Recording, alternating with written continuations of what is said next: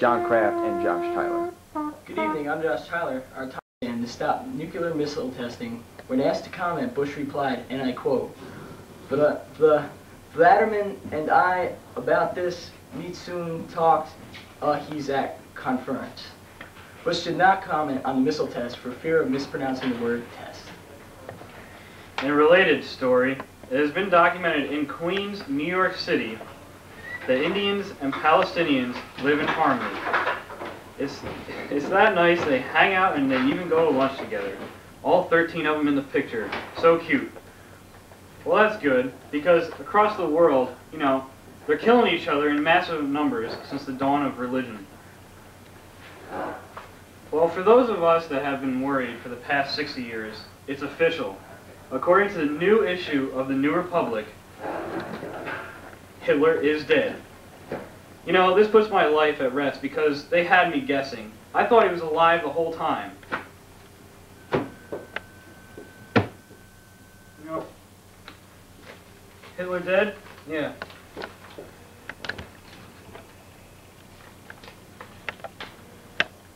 Okay, um, Attorney General, uh... My God, how stupid are people! No crap, he's dead. He's been dead. They found him dead, his dead carcass rotting away with a bullet through his head. John.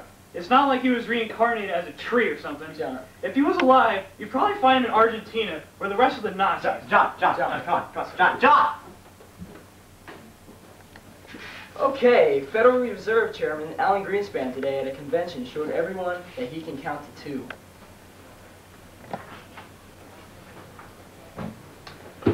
Sorry, I'm back. You okay?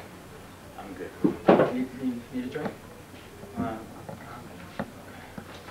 Uh, Next story. The New York Times reports that many of the victims from the September 11th tragedy are resentful towards the September 11th Fund, which is set up to aid the families. They say that the paperwork is too complicated and long to fill out. I smell recount. Well, we at Weekend Update are concerned with our viewers and have obtained a sample of a letter for you. Just fill out the papers, put it in an envelope, and send it in. This is our team hard at work for the viewers. You mark it personal, I hear, and that gets it through quicker.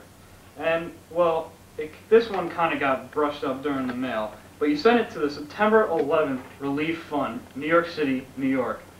11100.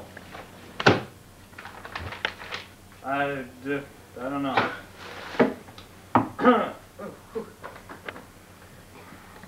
well, this week in the Middle East, more bad stuff's happening with no signs of stopping. And not to be outdone, as stated before, India and Pakistan are pretty pissed off at each other too. Archbishop Rembert C. Weakland offers a faithful apology in Milwaukee today and invited 20 young boys over to his house for dinner and to spend the night. Wasn't that nice? I thought it was nice. Oh, that's wrong. Ugh, all right. Who says the world is run by corporations? I do. When this photograph of Ben Franklin, back from the dead, was taken, standing outside of a Starbucks, smoking and enjoying a cup of go, a cup of Joe, who knew? It's nice to see him again, though, isn't it? He looks good. Very good. A the new Broadway play sensation that is sweeping the nation by surprise and taking no prisoners and is also up for 10 Tony nominations and may I say is labeled as the next craze is none other than Broadway's own Urinetown. Hmm, that's that's interesting. Yes, it does. Okay. President Bush still denies ignoring September 11th warnings. Bush said he did everything he was capable of doing in stopping the attacks. This will be the subject of tonight's point, point counterpoint. Okay, who are we kidding? We all know this man is not capable of tying his own shoe. So what could he do? It's okay, Mr. President. I understand. When you have the IQ of a flea, there's only so much you can do. Just wave and smile. Whatever you do, don't talk. Well, on the other hand, talk. Talk a lot. Then people will realize how stupid you really are. In a couple of years, they'll vote you out of office. And everything will be all right. John? well, Josh, well, at Pearl Harbor, we didn't actually think the Japs were going to strike at Pearl. You know, I was going to church at 7.55 a.m. on December 7th, but I noticed about 350 Japanese torpedo bombers, dive bombers, and countless, a whole mess, countless, yes, countless, and a whole mess of Zeros flying over my head as I was eating breakfast on the USS Arizona. Then all of a sudden, I got blown out from my table over into the harbor as I was shot five times by a 20 millimeter cannon. John, you conservative, right-wing, communist, Nazi moron. This had nothing to do with the September 11th attacks and the president completely ignoring warnings of a, an attack that killed millions of innocent people. But you wouldn't know that, John. You're just as ignorant as he is. You scumbag. You're missing my point, Josh. You're missing my point. You hippie pinko tree hugger, go save a tree and eat your health foodie. You yuppie. Eat your all-natural cheese curls that taste like cardboard cyanide. Go make your free love and listen to your Doobie Brothers and your Foghat music. Your Jefferson Airplane, the only band that was worse than Jefferson Airplane was Jefferson Starship. Yeah, well, I cut my grass yesterday, killed it, and I ate a 15-pound sirloin steak for last supper. Thank you, John. Thank you, Josh. the city has unleashed its new plan to clean up the water. Yep. We'll have to clean up that. And we'll have to clean up that. And, uh, well, looks like we're gonna have to clean up that too. Sorry about those photos. Those were hard work. People died for those photos. They're kind of not so good. All right, to local news. In a local story, a painted carousel horse attacked an adult man in the park. when reached for comment, the horse said, and I quote, I hope he dies, that fat, sweaty bastard. I'm sick of people overexceeding the weight limit and pretending to be a western cowboy when I'm stuck through a pole like a shish kebab and have to listen to that god-awful music all day long. Merry-go-round, horses and fat people. I don't know, man. God. I didn't know they had it in them, but How are you going to live in this world with that? Well, many people are afraid of the weather. There's really nothing to be worried about. I know you're afraid to go out of your houses. The sun bothers you, this bothers you, that bothers you. It's really all okay. See, this is sun. Okay? This is partly cloudy. This is cloudy. Completely cloudy. See? It's all right. Nothing's gonna hurt you. Now this, this is wind. Now, rain is just water. It sprays at you. It goes like this, and it gets in your face. You get a little wet. It's all right. Then you have lightning. Then there's rain and lightning. Then there's rain, wind, and lightning, which is called a hurricane. If you're in a hurricane, you're as good as dead. All right, Josh. Or let's say, Josh. let's say you're in a tornado. You'll get sucked up, spit at, and hit a brick wall at 100 miles an hour. Josh. Sounds nice? Josh. Well, it shouldn't. Josh, Let's say you're in India. let's not. Okay. Let's not. Okay, you're in India. They have monsoons in India. It rains for five or six months non-stop. If you're if you don't drown by the time the rain stops, you might as well be dead because everything you have is gone. Light off, Craft. God, let's talk about ice glaciers. Let's All right? Josh. I'm just trying to tell a story about the weather. Don't tell me what to do. Ah! Josh, you all right? Yeah, I'm okay. I'm okay. Sorry. Yeah. Josh Tyler. now, since we're in the mood, some obituaries for the week. Stephen Stone, the former president of Congress, died last Friday at the age of 84. His family is in deep mourn over this loss and is hoping that he will make it up to heaven with a cheap rubber sole. yes, I'll be here all day. That was pretty corny. Okay. John B. King, Irish novelist and playwright, is dead at 73. The cause of death was an extreme case of writer's block, which caused his head to explode. And this just in, Attorney General John Ashcroft has been found dead. He was apparently mauled to death by an angry mob. Ashcroft's body was found in a dumpster nearby a building in Harlem, where Ashcroft was scheduled to give a speech this afternoon. John? You knock him dead, Josh. Nathaniel Smith, a glib man of the Bowery, died at 65 this past week. Wow, what an interesting life. Sounds like the crappiest job, I tell you. Not much worse than that. Just on a side note, I used to wear Converse, Chuck Taylors, and A, I never knew who Chuck Taylor was. Still don't. B, those shoes I think are the reason why I have so much trouble with my ankles.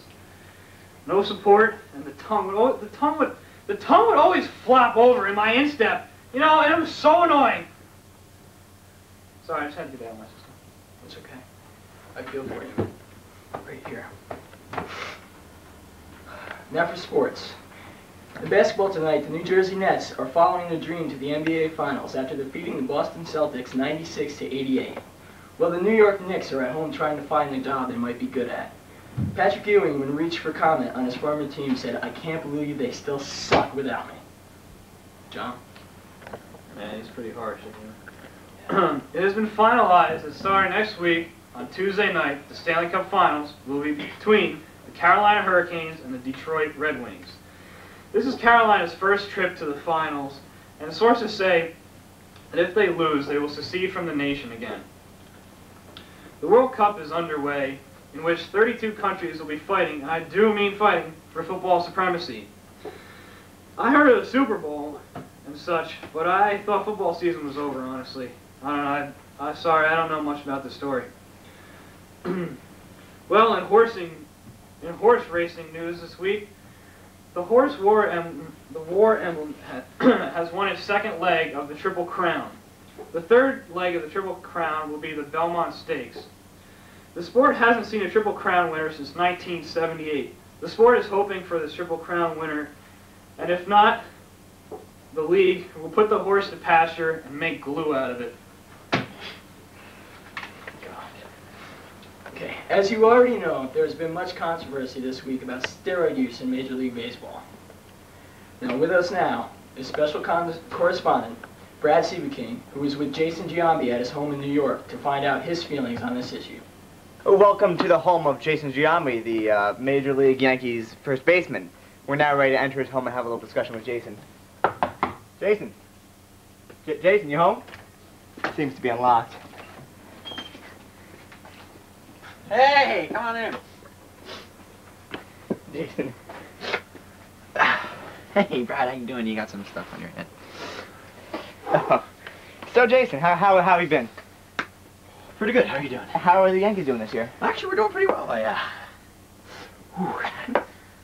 I have, um, like 14 doubles so far, and 14 home runs, I believe, and 32 runs. Like No, a no, get some. I don't know. Pretty good, though. Pretty good. Pretty good. Have you played the Mets yet? Oh, no, we haven't, uh, we haven't started interleague yet. Uh, that's not till later on. That's a pretty good team this year, huh? No, not really. I think they're, uh, like 26 and 28 or something like that. They're not doing very well. Yeah. So, Jason. Yes, uh, you okay? I'll be okay. We're here today, Jason, to talk about steroid use in the uh, in Major League Baseball. Uh-huh. What What are your feelings on this? Steroid, uh, personally, I never, I never bothered to touch the stuff. It's a very good It idea. just wasn't really me. So how do you get so physically fit, Jason, if you don't use steroids? Do push-ups. I like to do push-ups. Say, whoa. I like push-ups. I like push-ups. No, do you know Do you know any other sports players who take steroids? Um, I think Ken Caminiti used to. Yeah. That's it. Uh, uh, there's many others, but I like to keep that on the deal. Do you do you voice your opinion to them about their steroid use? Yeah, I tell them that it's not a very good thing to do. Know, it can cause you very many problems. That's very true. Yeah, very true. what are some of the symptoms of steroid use? Jumpiness and paranoia and know. yeah, small testicles, stuff like that. Natural reproduction then. Yeah, it, it definitely affects it. Well, Jason, as we can see, you are an ideal baseball player without using any any drugs whatsoever. No, I I pride myself on being That's very that's, that's very good. very. You are a role model to all kids of the generation. Um, Jason, I have a small question for you. Um, wha- what is that? Cold medication. Right. Okay. Uh, that's right. That's, that's what I thought. Do you mind if I have some? Oh no. Um, it's prescription. Well, I think we'll be leaving you now, Jason. It, it was a great interview, Jason. It was fun. It was fun. Thank you. Have a good day. You too. Okay. And that concludes our interview. you okay, Jason? Uh, I'll be okay. Woo! That concludes our interview with Jason Giambi. And now back to our anchormen, Josh Tyler and John Craig. Thank you, Brad. Well, in celebrity news, Samuel Jackson, the sixth member of the Jackson Five and a Jedi Knight, was arrested at his Hollywood house for possession of a lightsaber. That would be funny if the, you know, when the cops came to arrest him, he used his Jedi powers and was like, "You will not arrest me." And the cops were like, "I will not arrest you." Those Jackson kids, man. Uh, okay, now it's time for Josh Tyler's Celebrity Corner. We're here today. We're so proud that he's here with Ozzy Osbourne, who has a new hit show, a new album, and a new special with Keith Richards entitled Why We Can't Talk, which premieres Sunday on MTV and VH1. Don't miss it. So here he is, rock legend Ozzy Osbourne. Hey, rock and roll. Hi. How you doing? How are you, sir? All right. Uh, uh, I got show coming out on um, MTV coming out. They offered me uh, 20 million dollars. It was like I couldn't, I couldn't pass it on, man. It was just unbelievable. Really? Okay. Ozzy, how can you explain the success of your new I show? mean, I don't know. Uh, I guess with my kids and Jack and Sharon, it, it just works out great. I mean, people like to see me, you like a family. You know, I, I really, I love my kids, I really do. But it just, people don't really understand. Uh, yeah. Okay. Uh, what was your inspiration for the new album? Um, I was listening um, to the boy. Do you, do you like boy bands?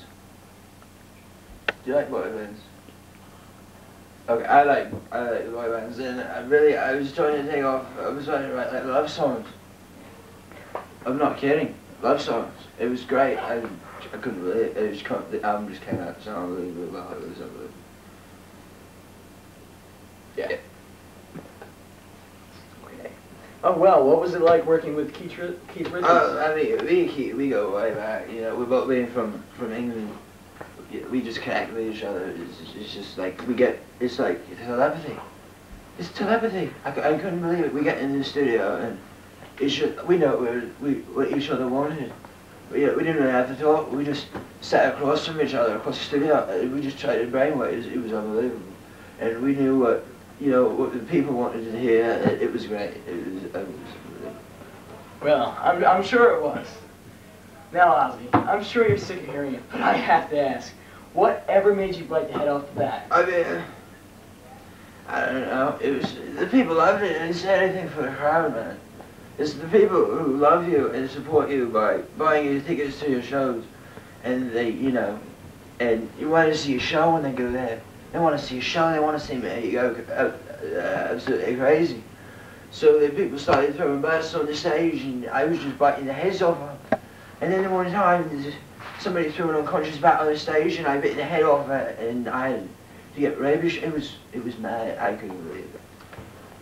Well, Ozzy, that was a great story. Thank you very much. We'd love to have you back again. All right, rock and roll. All right, have a good have a good night. you too. You have a good night.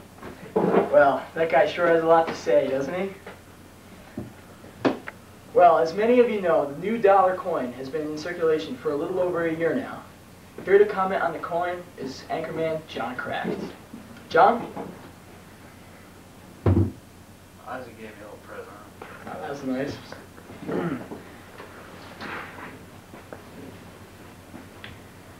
All right, this evening's commentary. Yes, the one dollar U.S. mint coin. I hate that damn thing. It's a government conspiracy against me. I mix Canadian coins all the time with United States coins. This is damn Canada. I think we should just get rid of that country. They have to import their stupid money to our country and their stupid monetary system with the little animals on all their little coins. You know, and that's not all. You know, I hate Canada enough. But the thing, the kicker, is that they put Sacagawea on the one dollar coin. Out of all the women, I'm sorry, but Sacagawea, she didn't do much. All she did, I hate saying this on TV, but all she did was sleep around with Lewis and Clark while they went exploring. if they wanted to put a skanky woman on the coin, why not choose Joan Rivers? They should have chosen an all-American famous woman like Mary Poppins or Aunt Jemima. You know, I hate that just as bad as those stupid glass ketchup bottles in the diners. You know the ones I'm talking about. they never pour. You don't put something in glass that doesn't flow. You know, it, it, it's annoyed me ever since I was a kid. Not once has ever, ever has anyone said to me, I want a nice glass of ketchup. A nice tall glass of ketchup, I might add too. That's small. You know, people are always like, oh, hit it on the 57. Yeah, that almost works. The 57, I only know one kind of ketchup. They only make one kind of ketchup, but they say 57 varieties. I don't know where the other 56 are coming from. The stupid commies, they're lying to us. So what do you do? You take a knife and you jab it through the stupid ketchup bottle, and what? It doesn't work. You wait, you sit and wait for the second coming of Christ. I didn't fight two tours of duty in Da Nang, fighting the man in the black pajamas to come back to America that's filled with glass ketchup bottles. Hand to hand, fighting combat in the jungles for six years, Josh. For six years. Okay, John. Thank you. well, let me take off my glasses. Since today is the 57th anniversary of the Normandy landings in France in World War II, we at Weekend Update feel that it's necessary for this to be recognized. So we give a shout out to those veterans. One last thing is we'd like to thank our sponsors at the Grand Union Family Fresh Markets who will be having an Operation Overlord picnic at the Small World Park this weekend. Festivities includes kids games such as a live fire recreation of the Normandy invasion of France.